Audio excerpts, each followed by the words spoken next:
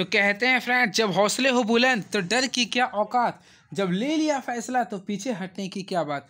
तो बिल्कुल फ्रेंड्स आप सभी का स्वागत है आपके अपने चैनल मूव ऑन स्टडी में। आज आप लोग के सामने जिला प्रशासन कोडमा, झारखंड के तहत रेल द्वितीय के तहत जो पेपर करवाया गया फ्रेंड्स यानी दस दिसंबर दो हज़ार बाईस को मैथमेटिक्स का, वो मैं लेके आऊँ क्लास टेंथ के लिए। तो फ्रेंड्स आप लोग ज़रूर देखिए और सीखिए। तो चलिए बिना समय गवाए स्टार्ट करता हूँ। पहला क्वेश्चन ये रहा सभी वृत्त होते हैं। तो फ्रेंड्स का जो राइट आंसर होगा ऑप्शन नंबर ए होगा। क्या होगा? समरूप होता है। सभी वृत्त क्या होते हैं फ्रेंड्स समरूप होते हैं। आप देखिए, आप लोग समझिए। ये एक वृत्त है। तो फ्रेंड्स हम लोग समरूप उसे कहते हैं। देखिए, आप लोगों मैं समझा रहा हूँ। देखिए, ये दो वृत्त मैं खींचा हूँ तो समरूप उसे कहते हैं, जिसका आकृति सेम होता चाहिए। आकृति सेम होना चाहिए। लेकिन फ्रेंड्स माप जो होता है डिफरेंस होना चाहिए, उसे बोलते हैं समरूप। अब देखिए, दोनों का देखिए फ्रेंड दोनों का रूप क्या है? दोनों वृत्त जैसा है, लेकिन इसका त्रिज्या अलग होगा, इसका त्रिज्या का मान अलग होगा। तो इसे हम लोग क्या बोलेंगे? समरूप। क्या बोलेंगे फ्रेंड्स समरूप। तो सभी वृत्त, सभी वर्ग आपस में समरूप होते हैं। क्लियर है? And next question is now सभी त्रिभुज होते हैं। तो फ्रेंड्स सभी त्रिभुज भी सम, सभी त्रिभुज समरूप होते हैं। तो सभी संबाहु त्रिभुज समरूप होते हैं। हम लोग को ये बताना चाहता हूँ फ्रेंड्स इस संबाहु त्रिभुज होता क्या है? संबाहु त्रिभुज उसे कहते हैं, देखिए, आप लोग को समझना पड़ेगा समबाहु। फ्रेंड्स आप लोग तोड़ने के सबसे पहले तोड़ने सीखे सम बाहु इक्विलेटरल ट्रायंगल जिसे बोलते हैं। सम का अर्थ होता है बराबर, बाहु का अर्थ होता है भुजा। यानी वैसे त्रिभुज, जिसके आपस में, सभी भुजा आपस में बराबर, उसे बोले हैं। तो फ्रेंड्स ये हो गया समबाहु त्रिभुज। अब देखिए, ये भुजा इसके बराबर होगा, ये भुजा इसके बराबर होगा, ये भुजा इसके बराबर होगा। तो इसे हम लोग बोलेंगे समबाहु त्रिभुज, ठीक है? और समबाहु त्रिभुज हमेशा क्या होता है? समरूप होते हैं। And very next question is now सभी वर्ग होते हैं। तो फ्रेंड्स सभी वर्ग भी क्या होते हैं? समरूप होते हैं। क्या होते हैं? समरूप होते हैं। देखिए, ये भी एक वर्ग है और फ्रेंड्स, एक ये भी वर्ग है। और देखिए एक ये भी वर्ग है। तीनों का देखिए, नाम क्या तीनों का नाम क्या वर्ग है। लेकिन देखिए, इसका साइज़ जो हो गया, यानी इसका भुजा का साइज़ अलग हो गया, इसका भी साइज़ अलग हो गया, इसका भी साइज़ अलग है। लेकिन तीनों का रूप क्या वर्ग है। तो इसे हम लोग क्या बोलेंगे? समरूप। क्लियर है? Are you getting my points and next question is now एक होता है फ्रेंड्स, सर्वांगसम। तो सर्वांगसम उसे कहते हैं, जिसका देखिए, मान लीजिए फ्रेंड्स, ये मैं सर्कल खींचा हूँ। दो सर्कल मान लीजिए मैं खींचा हूँ। अब दोनों का रेडियस होता है, मान लीजिए फ्रेंड्स, इसका रेडियस थ्री सेंटीमीटर है और इसका रेडियस भी थ्री सेंटीमीटर है। तो ये दोनों जो ये जो दोनों जो वृत्त होंगे इसे बोलेंगे सर्वांगसम। क्लियर है? लेकिन फ्रेंड्स, अगर एक मैं ये सर्कल खींचने हूँ तो ये जो होगा, ये और ये हो गया, समरूप हो गया। क्लियर है? And very next question is now आधारभूत आधारभूत समानुपातिकता प्रमेय को क्या कहते हैं? तो काफ़ी तगड़ा क्वेश्चन फ्रेंड्स तो आधारभूत समानुपातिकता प्रमेय को थिल्स प्रमेय कहते हैं। क्या कहते हैं फ्रेंड्स? थिल्स प्रमेय, जो कि आप लोग के पेपर के लिए काफ़ी महत्वपूर्ण है ये। अब अब अगर आता है पाइथागोरस प्रमेय किसे कहते हैं? तो पाइथागोरस प्रमेय ये कहता है फ्रेंड देखिए A C square is equal to होता है A B square plus B C square यानी किसी किसी समकोण त्रिभुज में कर्ण उसकी सबसे बड़ी भुजा होता है, ये कहता है, ठीक है? And next question is now यदि दो समरूप त्रिभुज की भुजाओं का अनुपात, दो अनुपात एक है तो उसके क्षेत्रफल का अनुपात क्या होगा? फ्रेंड्स आप लोग को देखिए, अनुपात क्या दिए दो अनुपात एक। है तो आप लोग को ध्यान रखिएगा मैं ट्रिक बताता हूँ आप लोग को। जब भी इसका क्षेत्रफल निकालने के लिए बोलेगा, जब भी क्षेत्रफल बोलेगा ना तो जो आप लोग समरूप त्रिभुज का जो भुजा का अनुपात दिया रहेगा, उसका स्क्वायर कर देंगे आप लोग, ठीक है? तो देखिए, दो का स्क्वायर कितना होता है? चार होता है, अनुपात। एक का स्क्वायर कितना? एक। तो जहाँ चार अनुपात एक है, उसे हम लोग आंसर क्लिक कर देते हैं। इसका राइट आंसर क्या ऑप्शन नंबर बी क्लियर है?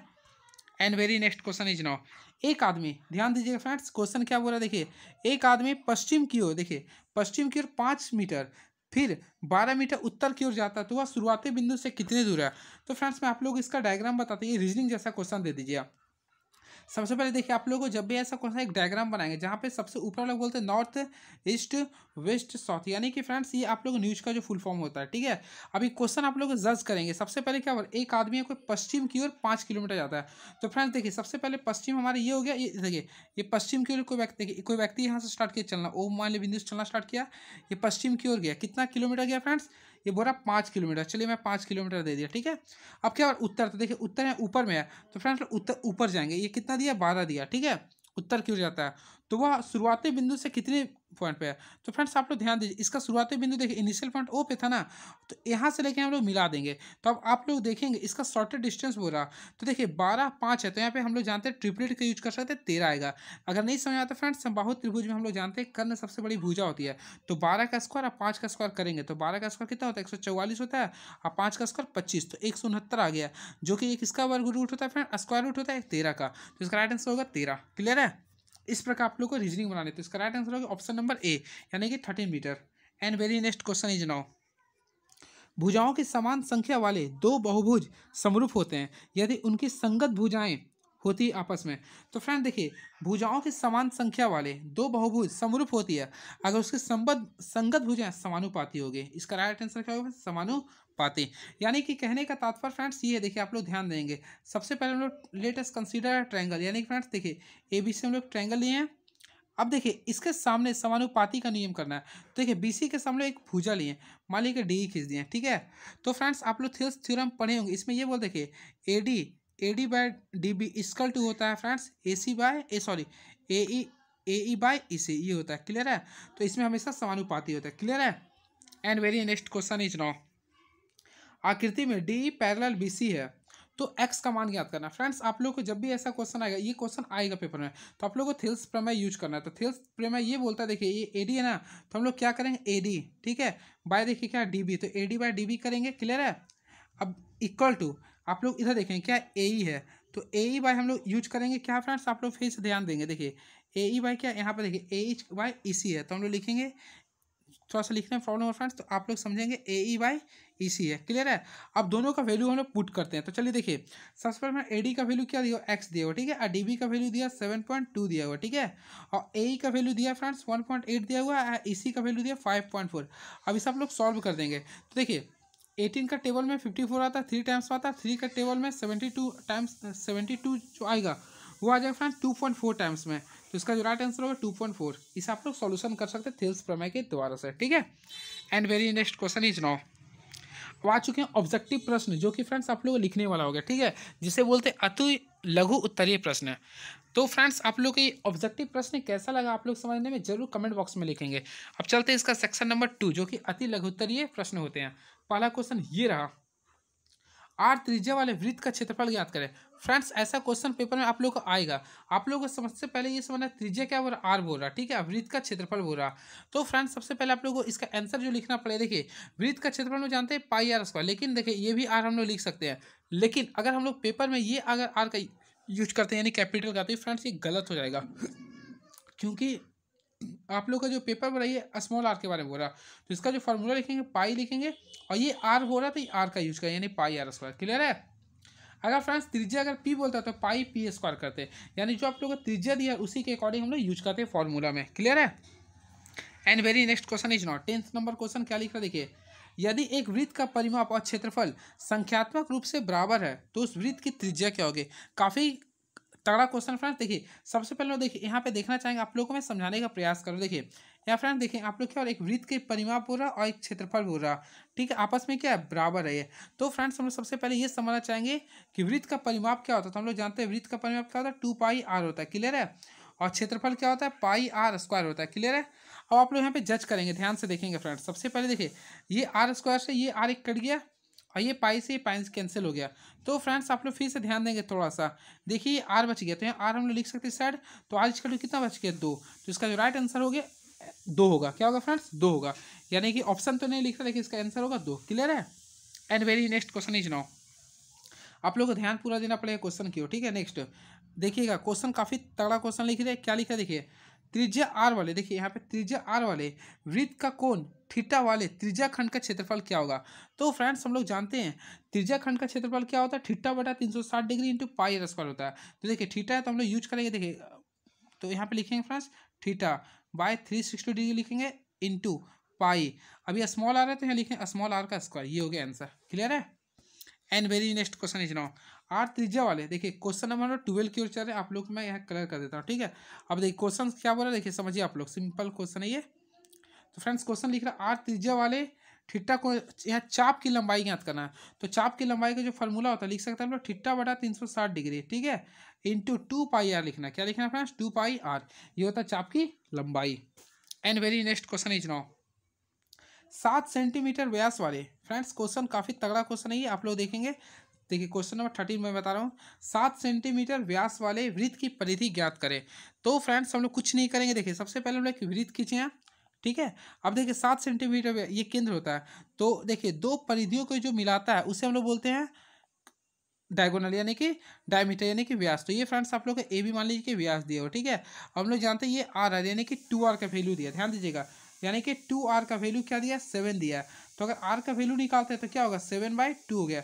यानी इसका त्रिज्या कितना हो गया फ्रेंड थ्री पॉइंट फाइव भी लिख सकते हैं या फिर सेवन बाई टू लिख सकते हैं। अब इसका परिधि निकालना है। तो हम लोग जानते हैं वृत्त की परिधि का फॉर्मूला क्या होता है? टू पाई आर होता है। क्लियर है? अब देखिए यहाँ पे ध्यान दीजिए। कलर मैं चेंज करके लिख रहा हूँ। टू बाई टू कर दिया हूँ। पाई का वैल्यू क्या होता है? बाईस बटा सात होता है। और आर का वैल्यू मैं कितना लाया था? Seven by two. अब यहाँ फ्रेंड्स आप लोग कैंसिल कर सकते हैं। देखिए, मैं ग्रीन यूज़ करता हूँ। ये सेवन सेवन कैंसिल हुआ, ये टू टू कैंसिल हो गया। क्या बच गया? केवल ट्वेंटी टू बच गया। क्लियर है? तो इसका राइट आंसर हो गया twenty two centimetre and very next question is now आठ सेंटीमीटर त्रिज्या के चतुर्थांश का क्षेत्रफल क्या होगा? तो तो फ्रेंड्स एक क्वेश्चन को आप लोगों को देख कर बनाना होगा। सबसे पहले देख सॉरी क्वेश्चन नंबर फोर्टीन देखना पड़ेगा। देखना पड़ेगा। क्या लिख रहा? बारह मिनट में, बारह मिनट में, मिनट वाली सुई से निर्मित कोण क्या होगे? तो फ्रेंड सबसे पहले आप लोग को समझना पड़ेगा क्वेश्चन क्या बोल रहा। बारह मिनट में, बारह मिनट में सॉरी बारह मिनट में, मिनट वाली सुई से निर्मित कोण का मान क्या होगा? तो इसके लिए आप लोग क्या करेंगे? देखिए, सबसे पहले आप लोग को जानना पड़ेगा, देखिए मैं आप लोगों को बताया था क्लास में, देखिएगा, याद है चूँकि एक मिनट में, एक मिनट में जो जो कोण बनता है वह छः डिग्री का बनता है। कितना डिग्री बनता है फ्रेंड्स? छः डिग्री का। तो बारह मिनट में तो बारह को हम लोग छः से गुना कर देंगे तो बारह को अगर छः से हम लोग गुना कर, कितना बहत्तर डिग्री। इसका राइट आंसर हो गया। क्लियर हो गया होगा आप लोगों को? याद रखेंगे फ्रेंड्स, एक मिनट में हमेशा छः डिग्री का कोण बनता है। तो बारह को हम लोग छः से मल्टीप्लाई कर दिए। कितना आ गया? Seventy two degree. तो इसका right answer seventy two degree हो गया। एंड नेक्स्ट क्वेश्चन आठ सॉरी आठ सेंटीमीटर त्रिज्या के चतुर्थांश का क्षेत्रफल ज्ञात करें। तो फ्रेंड्स इसमें कुछ नहीं करना। चतुर्थांश बोला ना तो आप लोग फार्मूला यूज़ करना क्या होता है? देखिए one by four pi R square होता ना ये, लेकिन चतुर्थांश का क्षेत्रफल निकालना है। तो फ्रेंड्स आप लोग को इसी फार्मूला के आधार पर यूज़ कर देना है। क्लियर है? एंड नेक्स्ट क्वेश्चन यानी कि वन बाय फोर यूज़ करना है। पाई है पाई रख सकते हैं। और आर का वैल्यू कितना दिया? आठ दिया। तो आठ को डबल टाइम्स लिए थे। देखिए, आठ को दो से मल्टीप्लाई कर दिया यानी कि आठ दूनी कितना? सोलह पाई लिख सकते हैं। ठीक है? सोलह पाई आंसर हो गया। एंड नेक्स्ट क्वेश्चन अब आ चुके लघु लघु उत्तरीय प्रश्न में। तो फ्रेंड्स हम लोग देखना चाहेंगे क्वेश्चन क्या लिख रहा। तो देखिए, पहला क्या लिख रहा? आप लोग ध्यान देंगे। तो पहला क्वेश्चन ये लिख, देखिए छः सेंटीमीटर त्रिज्या वाले छः सेंटीमीटर त्रिज्या वाले वृत्त के त्रिज्या खंड का क्षेत्रफल ज्ञात कर, जिसका कौन सिक्सटी डिग्री है। कुछ नहीं करना हम लोग को फॉर्मूला पता करना त्रिज्या खंड का क्षेत्रफल क्या होता है। तो फ्रेंड्स हम लोग को पता त्रिज्या खंड का क्षेत्रफल क्या होता है, आप लोग को मैं बताया था, क्या होता है, थीटा बटा तीन सौ साठ डिग्री तो थीटा यहाँ पे थ्री डिग्री है, इसको हम थ्री डिवाइड करेंगे। इंटू पाई आर स्क्वायर तो पाई वैल्यू बाईस बटा सात होता है और आर का वैल्यू क्या सिक्स है तो इसको डबल टाइम्स कर देंगे। आप लोग इसे सॉल्यूशन कर लीजिए। क्लियर है? जो आएगा वही आपका आंसर हो गया। एंड वेरी नेक्स्ट क्वेश्चन एक वृत्त के चतुर्थांश का क्षेत्रफल ज्ञात करें, जिसकी परिधि बाईस सेंटीमीटर फ्रेंड सबसे पहले देखिए, इसकी परिधि क्या दिया बाईस सेंटीमीटर ना? तो हम लोग जानते हैं वृत्त की परिधि का फॉर्मूला क्या होता है? टू पाई आर तो टू पाई आर का वैल्यू दिया बाईस, ठीक है? हम लोग यहाँ से आर का वैल्यू निकाले। टू है टू पाई का वैल्यू क्या होता है? बाईस बटा सात होता है। अब ये आर बच्चा इचकल टू लिख देंगे हम लोग बाईस। अब ध्यान दीजिएगा आप लोग, ध्यान। ये बाईस से बाईस कट गया तो आर का वैल्यू क्या बच गया फ्रेंड सेवन बाई टू बच गया, क्लियर है? अब देखिए, इसका चतुर्थांश का क्षेत्रफल निकालना है।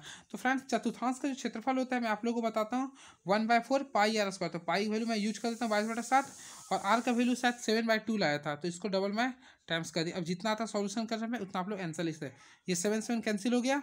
अब फ्रेंड्स, ये डायरेक्टली क्वेश्चन को मल्टीप्लाई कर दिया, यानी कि one fifty four by four two जो एट बाय सिक्सटीन आ गया आंसर क्लियर है? नेक्स्ट क्वेश्चन सिद्ध कीजिए कि ये क्वेश्चन फ्रेंड्स आप लोगों को पेपर में आने वाला है तो इसे आप लोग याद कर लीजिए या फिर समझ लीजिए। सिद्ध करें कि किसी समकोण त्रिभुज में कर्ण का वर्ग शेष अन्य दो भुजाओं के वर्गों के योग के बराबर होता है। तो ये क्वेश्चन आप लोग कर लीजिए फ्रेंड्स यानी आप लोग को सिद्ध करना है A C square is equal to A B square plus B C square इसे आप लोग कर लेंगे, ठीक है? तो चलिए, कैसा लगा अठारह क्वेश्चन जो था, मैं पूरा बताने का प्रयास किया हूँ। अब नेक्स्ट वीडियो में मिलता हूँ साइंस के साथ। चलिए thank you so much please subscribe my YouTube channel move on study